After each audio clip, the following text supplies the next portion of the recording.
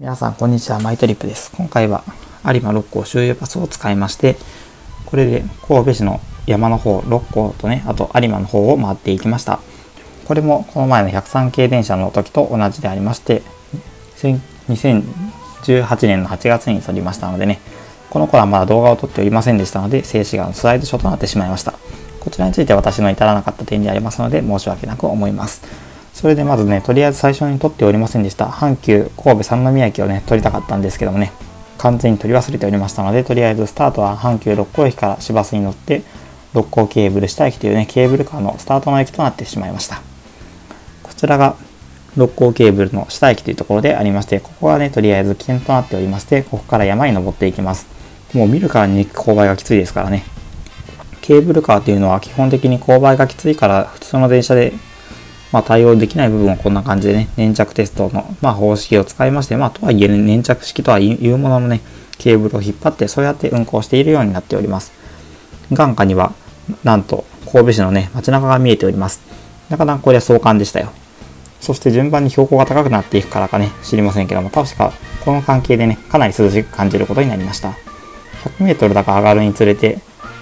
確か温度は0.65度下がるんじゃなかったかな。確か0.65度下がると言われたら結構下がっておりますからね。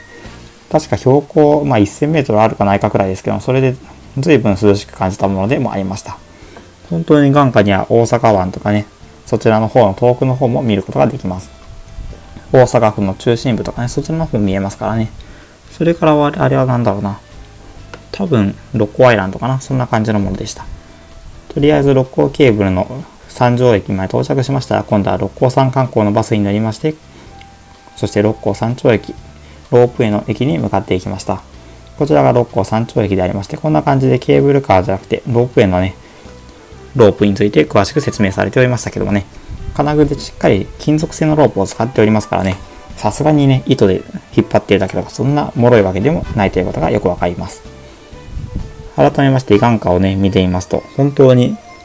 神戸市というのは山の麓に作られた、なかなか狭い町だなというのがよくわかります。向こうに見えておりましたのは、六甲アイランドというね、人造島でありますからね。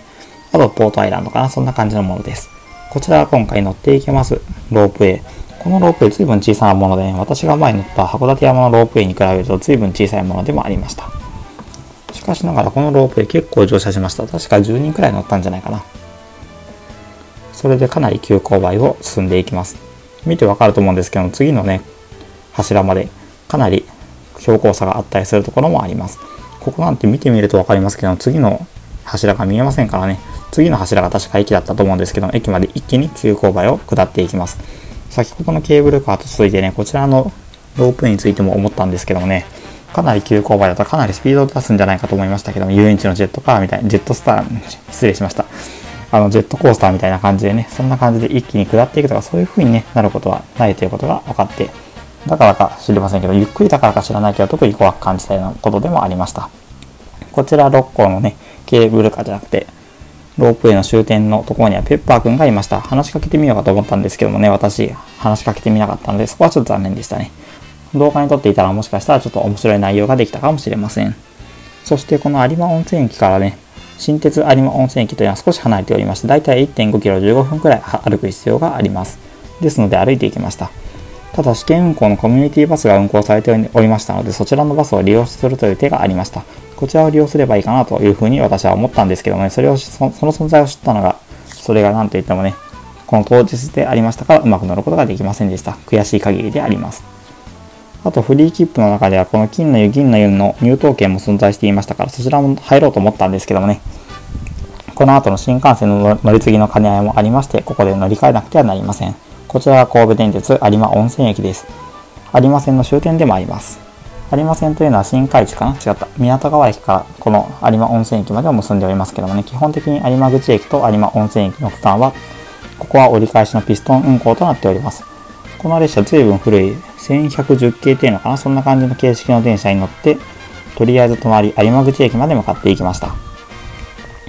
そして、まあ、有馬口駅に到着して、まあ、そこでね、並走して入線してきたのがこの5000系電車。この5000系電車というのは、こちらは三田線から直通してきまして、新海地に向かっていく電車なんですけどもね、この新海地駅まで向かっていく電車途中の谷上駅まで乗車をしていきました。こちらは新しいものでありまして、まあ大体阪急電車の中身とまあ似たような感じのものでありました。そして谷上駅から北新急行、神戸市の工学鉄道として有名なものでもあります。ただ工学とはいうもののね、路線距離がそもそも長いです。トンネルの区間がかなり長くてね。まあだから多分これは運賃が高いんだろうとは思われますけどね。北新急行という鉄道は、これは阪急の子会社でありますから、こちらの車内もね、あの、新鉄と同じく、こちらも阪急の車内と、まあ、似たような感じの緑色のモケットが独特のモケットというか、そういう感じのモケットが特徴の車両でありました。そして新神戸駅で降りました。この車両自体随分レアだったのでね、神戸市交通局の方の車両が当たらなくて、こちらが当たってちょっとラッキーだったなと思いました。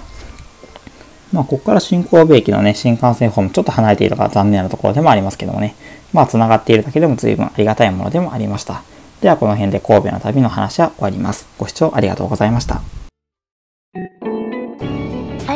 視聴いただきありがとうございました。当チャンネル、マイトリップでは、毎日投稿の名列車ほぼ日編、週1回の昭和編や、旅行記など多くの動画を投稿しております。よかったらチャンネル登録、高評価をお願いします。今回もご視聴ありがとうございました。ではまたお会いしましょう。